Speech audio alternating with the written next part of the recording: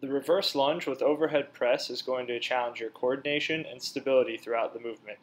Focus on establishing a good reverse lunge position, and as you're lowering down, you're driving the dumbbells overhead.